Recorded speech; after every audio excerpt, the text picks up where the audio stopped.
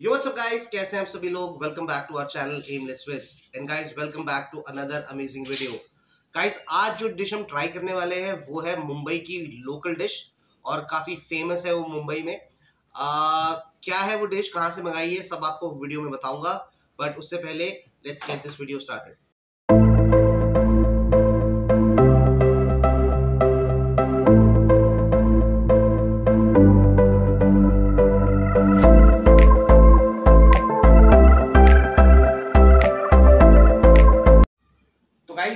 dish हमने आज मंगाई है इसका नाम है वड़ा पाव।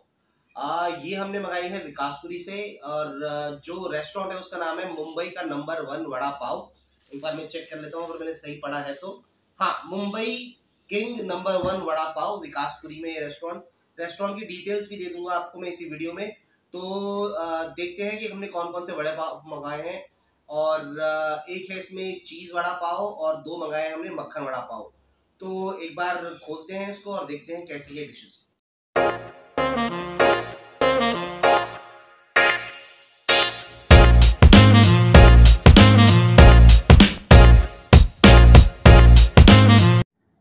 तो गाइस वड़ा पाव आ चुका है हमारे पास।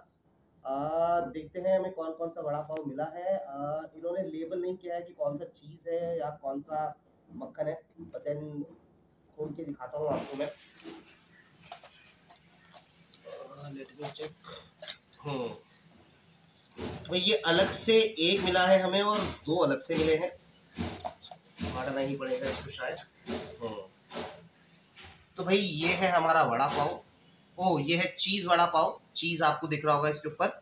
और साथ में है टिक्की जो कि वेजीज भी हैं इसमें और थोड़ी ग्रीन चटनी भी दिख रही है मुझे। हालाँकि इन्होंने चटनी अलग से भी दी है हमें। तो ये चटनी एक बार पोर कर लेते हैं। ये है हमारी शायद मिंट केचप। और इसके साथ इन्होंने हमें दी है रेड वाली केचप। तो इसको इसमें मिक्स कर लेते हैं, ताकि थोड़ा सा अच्छा फ्लेवर आए। और भाई साथ में है हमारे ये आई थिंक सैलड है। Let me check.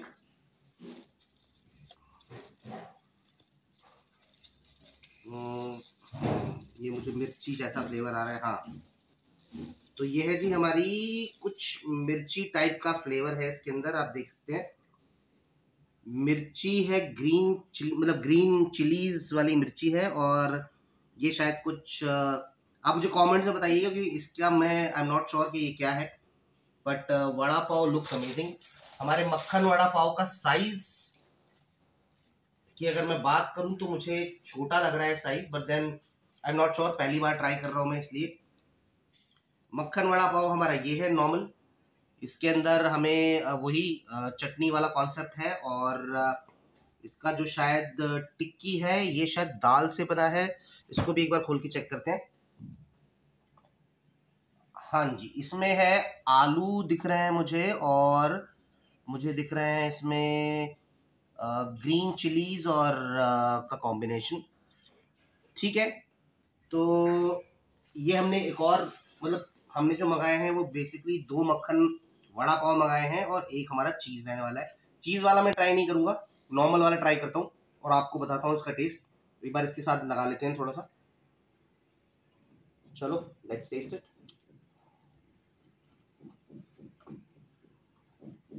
हम्म थोड़ा बन और टिक्की वाला कॉन्सेप्ट है ये बट काफ़ी रिफ्रेशिंग टेस्ट है, थोड़ा अलग टेस्ट है।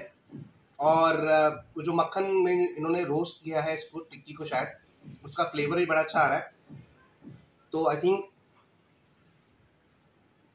hmm I think for change अगर आपको खाना है कि मुंबई वाले लोग बहुत खाते हैं ये